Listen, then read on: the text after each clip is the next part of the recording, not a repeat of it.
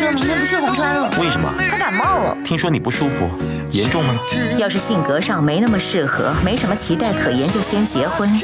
结婚后再偶尔去外面跟有趣又合得来的女人见面就好。